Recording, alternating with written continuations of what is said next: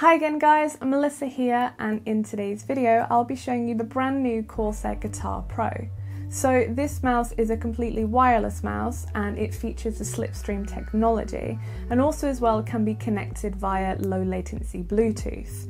It has a very affordable price for a wireless mouse coming in at £44.99 so let's get it unboxed and check it out.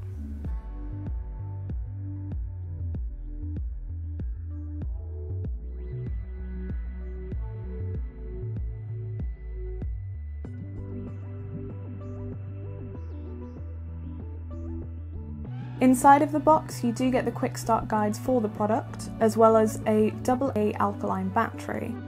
The dimensions of it come in at only 115.8 millimeters in length by 64.2 millimeters in width by 37.8 millimeters in height, and it only weighs 96 grams.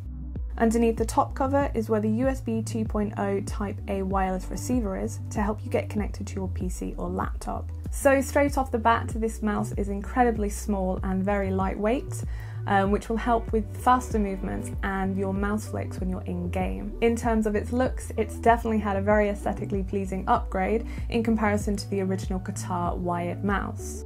It now has a much more subtle, sleek gamer design in my opinion, having the black plastic all over instead of having the odd grey sections added. It features individual left and right panels for the click buttons, two extra programmable buttons on the left hand side, and the clickable mouse wheel, giving you a total of six programmable buttons. And this time, the clickable mouse wheel is nicely placed in its own concave section in between the main mouse buttons. This for me makes it a lot more comfortable when using the scroll wheel because it means that my middle finger isn't too raised in comparison to the other fingers when using the mouse as a whole. The DPI button is smaller too and actually is the same level as the left and right mouse button so you can avoid any accidental DPI changes there. It also is a really good distance from the DPI to the mouse wheel, which is great, meaning that you're not straining your finger too much in order to reach the mouse wheel from the DPI button and just generally is a lot more comfortable for you. The sides of the mouse have texturized plastic grips, but personally I do prefer rubberized textured grips because when it comes to plastic, if you um, let out a lot of heat or moisture when you're playing games or anything, uh, you can still find that your fingers do slip off the sides, unfortunately.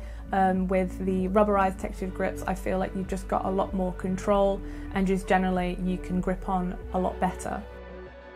Removing the top cover, you do have a AA battery slot and a place to store the wireless receiver, which keeps it safe if you're travelling or when the mouse is not in use. With RGB, there is only one zone, which is the multi-purpose LED indicator, and this is located just underneath the DPI button. Whilst you can't actually go ahead and change any of the lighting effects or do any fancy funky features in terms of the RGB aspects of the mouse, you can actually change the DPI indicator's colours to your preferred settings if you choose to. And with this multi-purpose indicator, it does also act as a power status a battery, and a wireless status indicator too. At the bottom of the mouse is where the power and wireless mode switch is, and to help with maneuverability on surfaces, it does have polytetrafluoroethylene or much more easily known as PTFE mouse pads. When it comes to the connectivity options of it, it's actually really great because you kind of get a, a two in one mouse here. So let's say you wanted to use the USB wireless receiver on your gaming PC and have the Slipstream wireless mode active there. If you also have a Bluetooth 4.0 or higher enabled laptop, let's say, you can actually go ahead and connect the mouse to your laptop and then just change the switch on the bottom. So if you're playing games on your PC, you can just use the same mouse but change the, the switch on the bottom to the wireless mode. Or if you then have work to do on your laptop, you can just change the mode over to Bluetooth. So you kind of get two mice in one here, so happy days. Now moving on to the battery and the overall Katar Pro performance. First of all, I'm going to say I'm not really a massive fan when it comes to using a AA battery in peripherals. I just find that if you don't have any batteries spare lying around or you don't manage to pull one from a remote or find one in the junk drawer or anything, then you're kind of stuck without a battery until you do manage to find one, hopefully, or you actually go out and buy a replacement. So if your battery runs out, then it's ran out until you've got that sorted.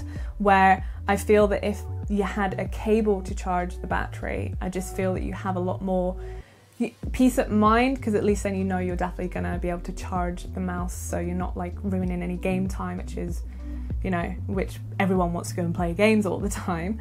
Um, but one thing I will mention when it comes to the disposable batteries is the fact that they do last a lot longer than if you were to just use um, a cable to charge like a lithium battery. This one lasts up to 135 hours, that's with the uh, LED lights active, obviously from the DPI and whatnot.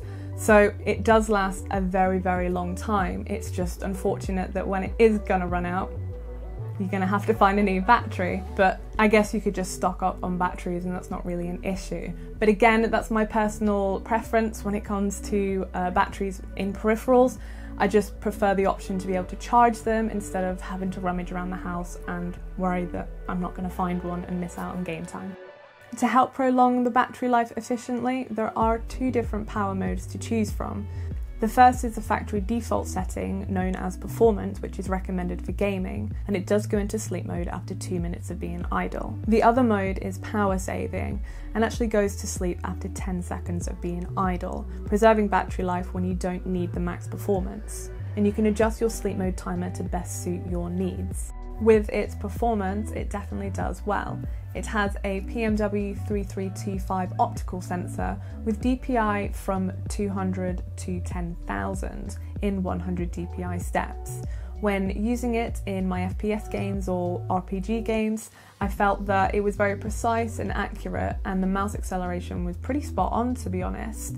I found that there was no lagging or there was no kind of stuttering from when I was moving my mouse too fast. If you enjoy a small, lightweight mouse, then overall it is very comfortable and very smooth to use.